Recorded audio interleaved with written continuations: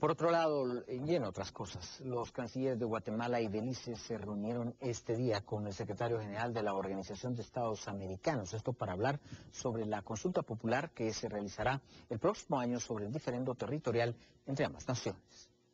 Los cancilleres de Guatemala, Harold Caballeros, y de Belice, Wilfred Erlington, se reunieron este día con el secretario general de la Organización de los Estados Americanos, José Miguel Insulza, para abordar el tema del diferéndum territorial, el cual calificó como positivo debido a los avances de ambas naciones, al acordar que el 6 de octubre del próximo año se realice una consulta popular simultánea para que los ciudadanos decidan si se lleva el litigio territorial, insular y marítimo a la Corte Internacional de Justicia. Los cancilleres decidieron fijar la fecha de esos referéndums en paralelo, simultáneos,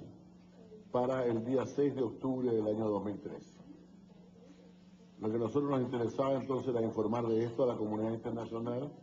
y solicitarle su apoyo, como lo han hecho con la oficina de la, de la zona de adyacencia, con todas las gestiones que nosotros hemos realizado. El canciller guatemalteco, por su parte, señaló que uno de los temas abordados también fue la muerte de los connacionales en el área de adyacencia. El primer ministro de Belice y el señor eh, ministro, ambos de Relaciones Exteriores, ambos manifestaron que estaban devastados ofrecieron una compensación para las familias. El canciller beliceño manifestó que está convencido que todo se debe llevar a cabo por medio del diálogo, tal como lo pide la comunidad internacional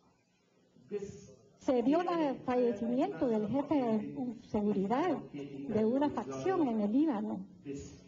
La comunidad internacional entonces está toda unida en la convicción de que los diferendos se deben resolver pacíficamente y con la participación de todos.